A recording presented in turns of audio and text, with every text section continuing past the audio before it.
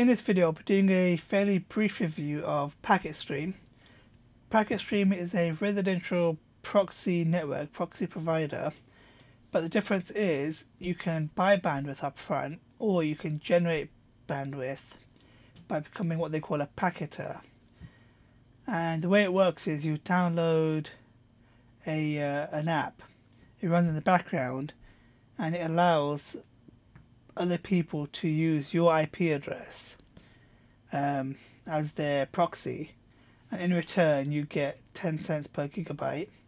So slowly, slowly over time this builds up. There was a point where I used to leave it on one of my old PCs, let it run all the time. I didn't put any credit on PacketStream for well over a year.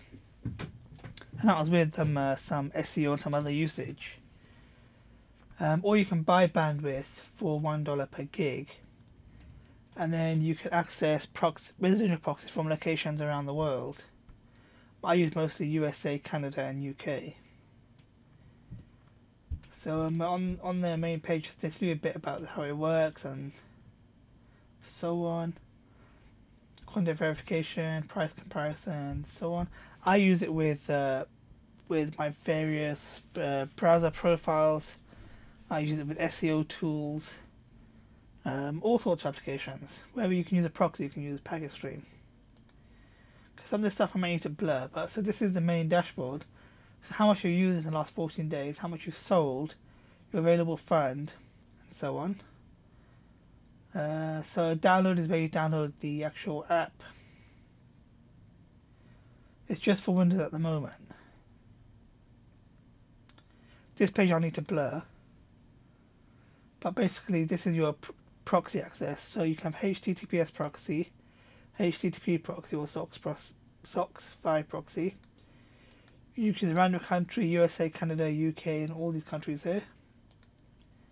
You can have randomized IP or sticky IP, and you can have DNS, uh, sorry, DNS hostname or IP hostname.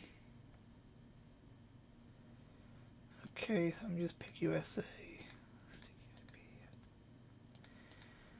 So let me blur some of this, but then you get your the proxy IP, the proxy port, the port is always 31111, your username and your long password. And inside that password it contains a country and also the states, I believe is sticky or whatever. And you give some other examples as well, but I won't go too far down because I'll have to blur everything. So you can use that inside your SEO apps or your browser profiles or whatever. Uh, and normally I do it in this for my IP hostname. So it's IP hostname, colon port colon username colon password and password the long password. Okay so yeah so what I, what I found is that of course it depends on on the uh, on the host PC if it's a good connection and so on. It's normally pretty reliable.